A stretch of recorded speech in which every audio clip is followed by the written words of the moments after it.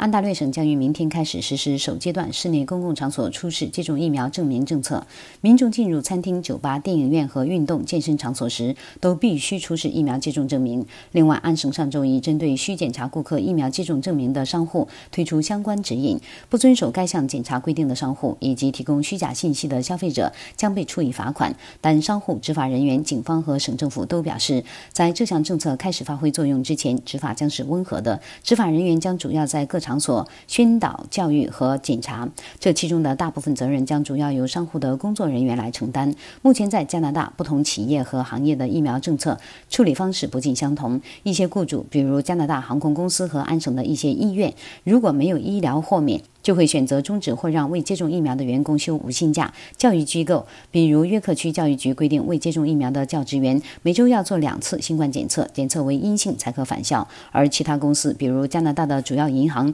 则准许未接种疫苗的员工返回工作场所，但他们必须定期完成病毒测试。安省政府认为，所有工作场所都应继续实施各种安全措施。根据安省政府的工作场所指引，新冠病毒疫苗和工作场所健康与安全疫苗并不能代替其他。安全措施。根据安省政府的指引要点，渥太华、河顿和杜贤区等地的公共卫生局都向所在社区公布了工作场所实施疫苗政策指引。各卫生局强调，这些措施都是建议，执行与否属自愿形式，不会在法律上。强制执行，不过呼吁各企业落实这些措施，建立公司本身的疫苗政策，保护员工及顾客的安全。他们建议，工作场所疫苗政策的要点应包括：要求员工提供疫苗接种证明，未能接种疫苗的员工也应有合法的医疗证明；给需要接种疫苗的员工定下合理期限；要求不愿接种疫苗的员工完成疫苗接种教育课程，并声明他们已经审查和理解内容等等。安大略省将会喺明天开始实施首阶段室内公共场所出示接种疫苗证明嘅政策。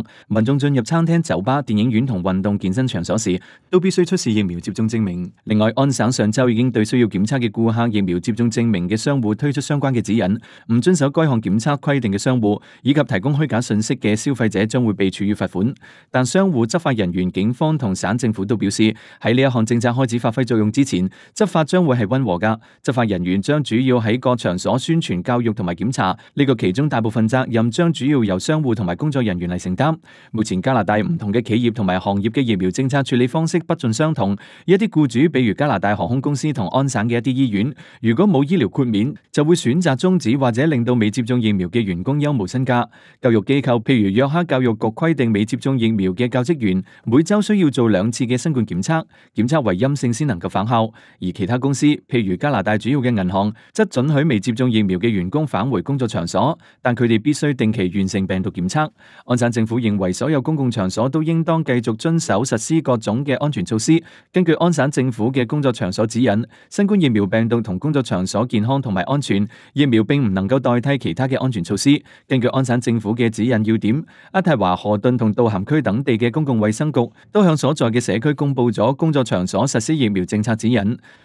个卫生局强调呢一啲措施都系建议，执行与否属于自愿嘅形式，唔会喺法律上强加执行。不过呼吁各企业落实呢一啲措施，建立公司本身嘅疫苗政策，保护员工及顾客嘅安全。佢哋建议工作场所嘅疫苗政策要点应该包括要求员工提供疫苗接种嘅证明，未能接种疫苗嘅员工亦都应有合法嘅医疗证明，俾需要接种疫苗嘅员工签订合作期限，要求唔愿意接种疫苗嘅员工完成疫苗接种嘅教育课程，并声明佢哋已经审查同埋理解。内容。